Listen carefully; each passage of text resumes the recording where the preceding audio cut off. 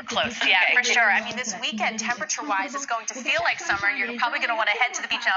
Ocean temps are still in the upper 50s, near 60 degrees. That is chilly, but not chilly. That's how you describe it Saturday and Sunday. But you can see soon after that, it is back to May. In fact, a little bit below average. So we've got a lot going on the next couple days.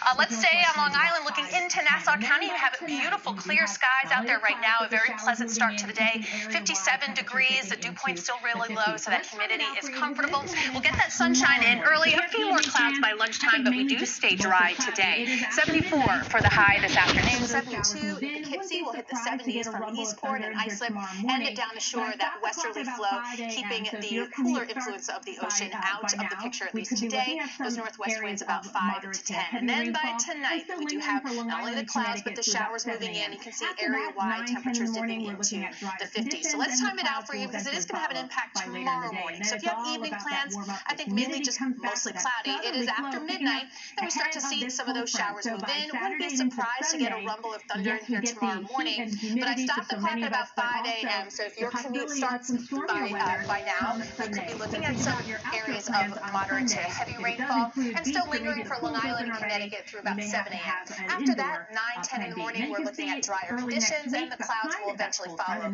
by later in the day. And then it's all about that warm up. Humidity comes back with that southerly flow picking up ahead of this cold front. So by Saturday into Sunday, yes, we get the heat and humidity for so many of us, but also the possibility of some stormier weather come Sunday. So think about your outdoor plans on Sunday. If it does include beach or maybe the pool's open already, you may have to have an indoor plan B. Then you can see early next week behind that cold front, enough of that cooler, dry area knocks our temperatures down quite a bit. Upper 60s Tuesday and Wednesday, and then back into the mid 70s by the end of the week. All right, 418, and that's look at your 10 day forecast again.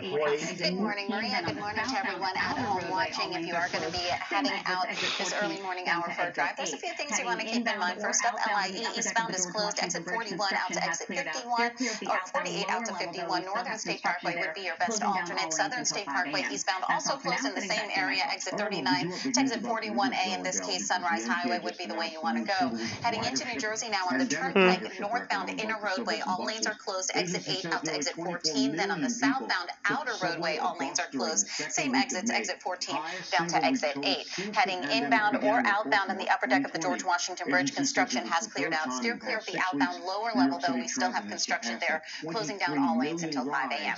That's all for now. Sending it back to you, Michael. All right, well, would you update us about Cleveland's though, Adele, because the MTA just announced a new